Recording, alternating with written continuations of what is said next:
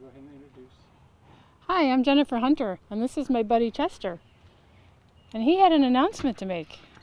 What do you say, Chester? What? You being shy? Okay, whisper in my ear. Come on, whisper in my ear. Yeah, yeah, uh huh, uh huh, uh huh. Okay, all right, I'll tell him. What Chester wanted to tell you is that he's really happy about this art show because there's lots of paintings of horses. So he's excited about that. In 2016, I was in the American Plains Artist Show with a painting called Fresh Horses. It's an oil painting of Native Americans who were uh, herding horses through the river. That painting won an award. It won this Publisher's Award from Art of the West magazine, and it won this exhibition award from Fort Concho National Monument. That show was at Fort Concho, and I was invited back to have a show this summer, which just opened. It's in the Barrack 6 building at Fort Concho. So it is several of my works, along with Don Weller, Marion Bartman, and Jane C. Fontecchio. In the Old West, forts were the supply chain for, for goods that were shipped to the frontier. A lot of those shipments would be in danger of attack by Indians, so they had to protect those. And one way they did that was with buffalo soldiers. Buffalo soldiers are escorting a U.S. Army supply wagon here, and that actually happened to be Fort Union because that is where they had that wagon. But I thought that that would be an appropriate painting for Fort Concho since it is the kind of thing they portray at Fort Concho with reenactors who are Buffalo soldiers that do their many events. Hi, chickens.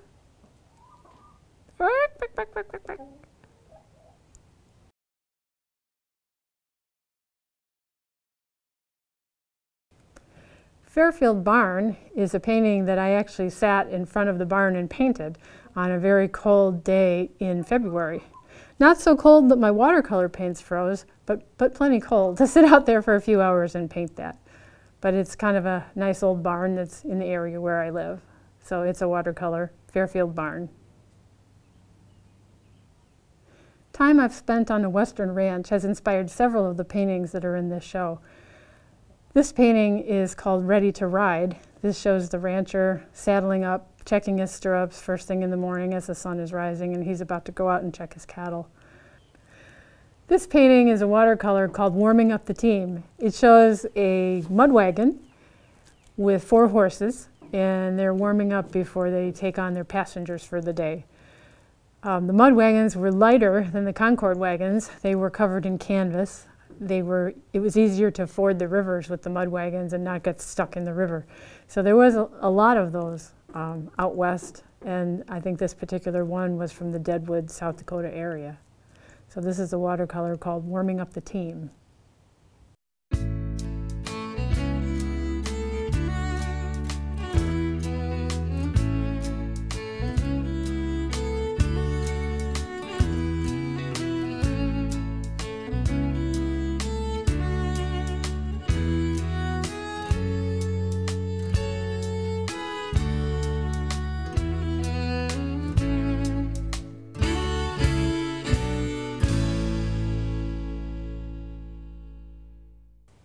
On a hot day, a cowboy would take the horses down to the river so they could drink. This is a watercolor that shows that, and it is called Cooling Off. The headdress is held, you know, in a very high reverence, you know. Yeah. And um, those feathers mean a lot of things, you know. They're not just sitting up there because it looks good. And so um, it's a big thing when you wear it. A guy that would have been wearing, you know, the headdress uh, would have been a leader, um, would have been the chief, or you know, leader going into battle, whatever the case, and uh, that would have been because of his accomplishments or his feats, you know, and the fact that people, you know, already recognized and looked at him in that way and so there's like a confidence I think that comes when you're wearing that, and I feel like there's a little something comes over me when I put that on, and I'm you know not a chief or a leader to do what we're doing out here, recreate some things um, so that we can tell stories. I think there should be a confidence in whoever's going to wear that, and you know, wear it like if we were in 1880 and you know, we were leading. I mean, you know, Crazy Horse, Quanah Parker. These guys were confident men that, you know, I don't think they were second guessing anything. They were just, they knew what they wanted to do. I have several Native American friends who posed for me for my artwork, uh, portraying the ancestors in the old days. This painting is called Lakota Pride, um, featuring a Lakota warrior wearing a war bonnet uh, that came from a photo shoot we did in Wisconsin a few years ago. Uh, Cody's not actually Lakota, he is Shoshone, but he's portraying a Lakota warrior for me in this painting. It is an oil painting, and it's Lakota Pride.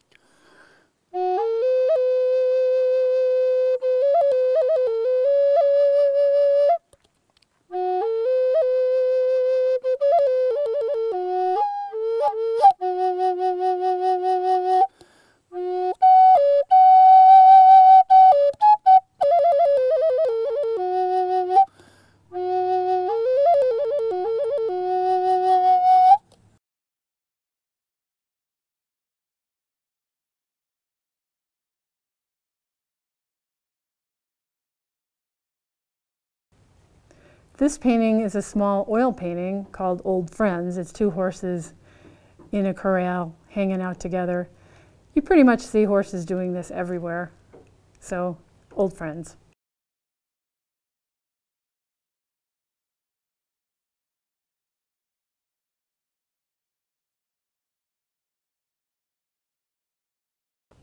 Well, we're in Texas, and what's more Texas than longhorns? So this little watercolor shows longhorns walking through the river, and this is called Trailing the Herd.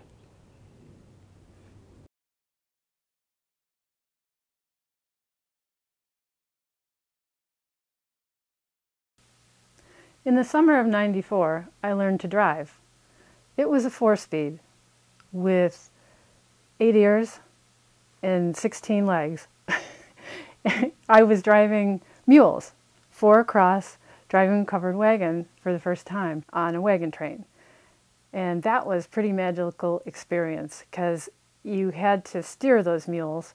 You had the reins in each hand, and if you wanted to turn left, you'd pull back on the left and you'd let the right go slack, and turning right, you'd do the opposite. Um, it was it was a very interesting experience to be on a wagon train. The days were long. You did about 20 miles a day. Um, you felt every bump in the road. Uh, we were on gravel roads. Part of the time we were going through fields, grassy fields, and you would look out across the prairie and you could imagine what that might have been like for the pioneers looking out on that horizon, seeing that vast prairie of grass. Some years ago, I was lucky enough to go on several trips by covered wagon in Nebraska along the Oregon Trail. And a couple paintings here have come from that experience. The first one is an oil painting called Day's End, and that came from when we stopped for the evening, and the Belgian horses are being unhitched from the wagon. So that's a little oil painting, and it's called Day's End. The other painting here is a watercolor called Jerry's Horse. That would be Jerry standing there in the shade of the wagon, and that's one of our noon lunchtime stops. Uh, so he's standing there with his horse, and that's a watercolor painting. All of those experiences of traveling by covered wagon gives you a sense of what it really was like to be a pioneer. I didn't have to travel the whole Oregon Trail um, without supplies and without conveniences that we have today.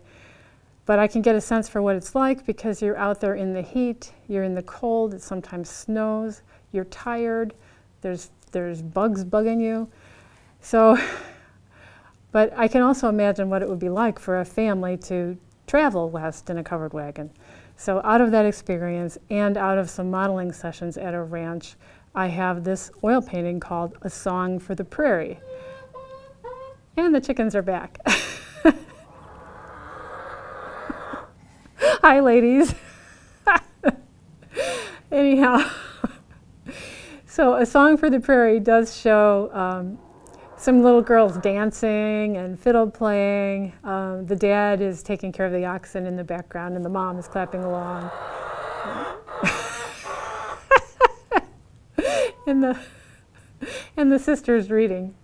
So that would be a song for the prairie. It's a rather large oil painting, 24 by 36.